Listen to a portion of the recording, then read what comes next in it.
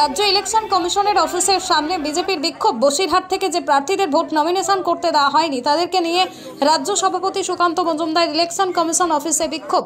সন্দেশখালী এবং মিনাখায় নমিনেশন জমা দিতে বাধা দেওয়ায় শুভেন্দু অধিকারী এবং সুকান্ত মজুমদারের নেতৃত্বে রাজ্য ইলেকশন কমিশন অফিসের সামনে বিক্ষোভ বিজেপি সমর্থকদের। No vote to Mamata slogan তুলে কমিশনের সামনে অবস্থান বিক্ষোভ। জেলা জেলা দেখা যাচ্ছে। মনোনয়নের নামে প্রহসন চলছে। একেবারে বিরোধীদের কোথায় মনোনয়ন জমা দেওয়া দেওয়া হচ্ছে না। কি বলবেন বিষয়টা? দরকার কি? তৃণমূল কংগ্রেস নিজেরাই ঠিক করে নিক না কে প্রধান হবে, কে জেলা পরিষদের সভাধিপতি হবে, কে পঞ্চায়েত সমিতির মাথা হবে।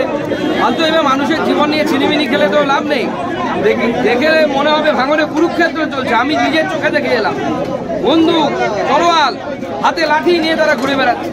এবার চলতে পারে না গণতন্ত্রের অ্যাকসেপ্টেবল আছে। ভিডিও এবং ভিডিও অফিস এবং এসডিও অফিসে তৃণমূলের দুষ্কৃতীরা বসে সেখানে আড্ডা আড্ডা মারছে বিডিও অফিসে সন্দেশখালিতে দোতলায় তৃণমূল কংগ্রেসের লোকেরা উপস্থিত ছিল। পুলিশ ভিতরে ঢুকিয়ে দেওয়ার পর নিচে নেমে তারা মার কর- মেরেছে আমাদের কর্মীদের। যারা নমিনেশন দিতে ভাবুন পুলিশের সামনে একজনের চোখ নষ্ট হয়ে গেছে একজনের হাঁটু ভেঙে গেছে। এই পরিস্থিতি। রাজ্য নির্বাচনের ভূমিকা কি বলবেন? রাজ্য আমরা নির্বাচন কমিশনের ভূমিকা নিষ্ক্রিয় একটাই প্রার্থীদের নিয়ে এসে সুকান্তদা প্রার্থীদের নিয়ে এসে কি বলবেন আজকে? দেখুন রাজ্য নির্বাচন কমিশনের কাছে আমরা যাচ্ছি আমাদের চিঠি নিয়ে আমরা পাঁচজনের প্রতিনিধি দল যাচ্ছি। প্রার্থীরা এখানে অপেক্ষা করবে। কারণ হাইকোর্টের নিয়ম অনুসারে রিএড্রেসাল বেস টেবিল করার কথা। রিএড্রেসাল হওয়ার কথা তাদের সুযোগ দেবে কিন্তু এখনও পর্যন্ত আমরা কিছু দেখতে এনএচআরসি নিয়ে কোর্টে গেছে রাজ্য নির্বাচন কমিশন। NHRC এলে তো দেখে ফেলবে না সমস্যা হয়ে যাবে চুরি চুরি ধরা পড়ে যাবে। থ্যাংক ইউ দাদা থ্যাংক ইউ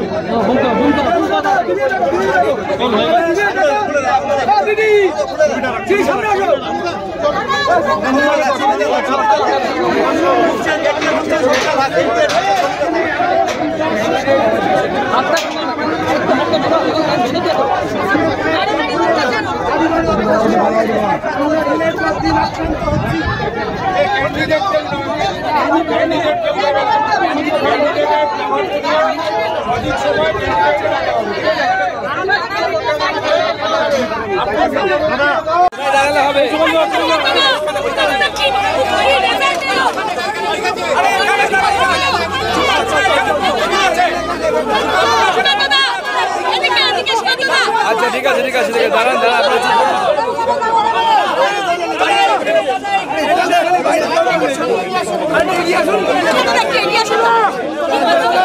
দেখুন, নির্বাচন কমিশনের সবার হবে আমি দুদিকে ঘুরে বলব। আপনাদের জন্য আবার করব। অসুবিধা নেই, আবার রাজ্য নির্বাচনের মুখ্য আধিকারিকের সাথে আমরা দেখা করলাম।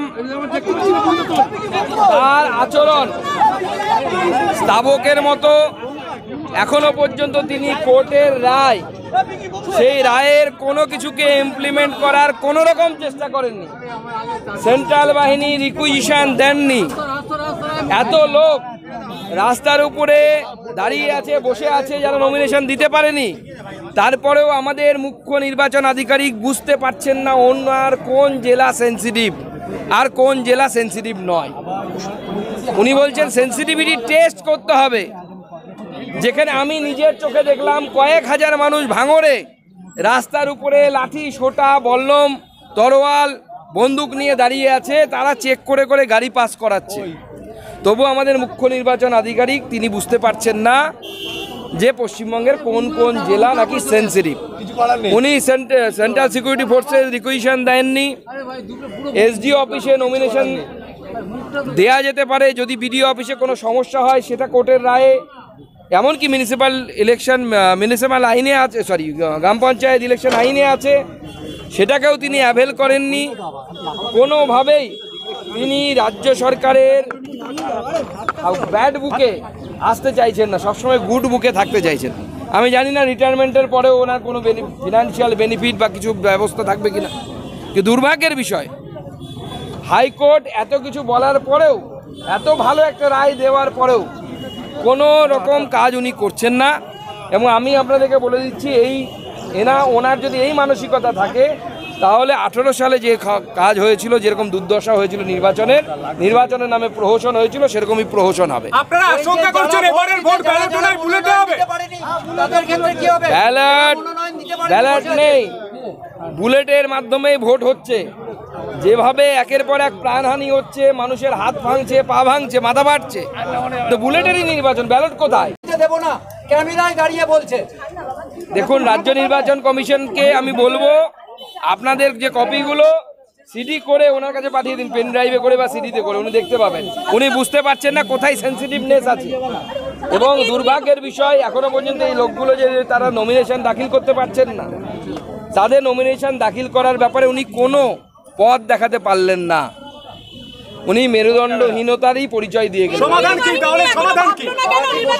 সমাধান কি? আমরা ওনার কাছে দাবি জানিয়েছি ওনার কাছে যারা নমিনেশন দিতে পারছে না তাদের নামের লিস্ট আমরা পাঠাবো। উনি বলেছেন এনাদেরকে নাকি নমিনেশন করতে যাতে আগামীকাল তারা সমর্থ হয় তার ব্যবস্থা করবে আমরা দাবি জানিয়েছি আপনি এসডিও অফিসে আপনার কাছে যে প্রভিশন আছে পঞ্চায়েত আইন অনুসারে সেই পঞ্চায়েত আই- আইন অনুসারে এসডিও অফিসে নমিনেশন দাখিল করার ব্যবস্থা করুন। অ্যাসিস্ট্যান্ট আরও পিআরও অ্যাসিস্ট্যান্ট পিআরও দাঁড় করিয়ে সেখানে অ্যাপয়েন্ট করে আপনি ব্যবস্থা করুন সেই কথা বলেছি। কিন্তু আমি জানি না উনি সেই সিদ্ধান্ত নেবেন কি নেবেন না। কাল যদি ব্যবস্থা না মদন হয় মিত্র বলছেন বহিরাগতদের আনা হলে বহিরাগতরা ঢুকলে বেরোতে পারবে না। আমাদের ছেলেরাও উচ্চ প্রশিক্ষিত। দেখুন এই মাতাল বাতেলাবাজের কথা জিজ্ঞেস করবেন না। কখন কি বলে কোনো ঠিক নেই পার্টিতেই গুরুত্ব পাচ্ছেন না। একটা পেশেন্ট ভরাত ভর্তি করাতে পারছে না তারা আবার বড় বড় কথা। যারা নমিনেশন দিতে পারবেন না। তাদের নিয়ে কি ভাবছেন আপনারা? দেখুন যারা নমিনেশন দিতে পারবেন না তাদেরকে আমরা আগামীকাল প্রথম কথা হচ্ছে আমরা হাইকোর্টে শরণাপন্ন হচ্ছি। হাইকোর্টে আমাদের লিগাল টিম সেই লিগাল টিম তারা হাইকোর্টে চিফ জাস্টিসের এজলাসে কালকে আমাদের ফরিয়াদ নিয়ে যাবে এবং সেখানে এই মানুষ যারা গণতন্ত্রে অংশগ্রহণ করতে চায় সেই গণতন্ত্রে অংশগ্রহণ যারে যাতে তারা করতে পারে সেই ব্যবস্থা করার জন্য আমরা আইনি পথে লড়ব। বিজেপির টিকিট তো এমনি ফিল আপ হয়ে গেছে। কোথা থেকে দেবো আমরা? দিতে পারব না। এবছর এলে পরে এবছর বিজেপির হয়ে বিজেপির যারা দাঁড়িয়েছে তাদের হয়ে প্রচার করতে হবে। ঝান্ডা দিয়ে লড়াই করতে হবে। পরের বার আমরা ভেবে দেখব। আর বলছি যে অপরূপা পোদ্দার অপরূপা পোদ্দারের কাছে হাইকোর্ট বলেছে সিবিআই নারদ তদন্ত দ্রুত শেষ করতে। তিনি আবেদন করেছেন তার নাম মুক্ত করতে। তো যাতে দ্রুত তদন্ত শেষ হয় তাই সিবিআই কে নির্দেশ দিয়েছে কোর্ট। কি বলবেন? দেখুন একটা তদন্ত থেকে মুক্তি হয়ে লাভ কি হবে? আর একটা তো লেটারও ঘুরে বেড়াচ্ছে সোশ্যাল মিডিয়াতে কোর্টের কাছে পৌঁছে গেছে। আবার তো আরেকটা মামলা শুরু হয়ে যাবে। এটা তো আরও খতরনাক। লেটার প্যাডে লিখে চাকরি দিয়েছেন। কত করে নিয়েছেন সেটা অবশ্য বলেননি। বললে পরে আমরা ধরতাম।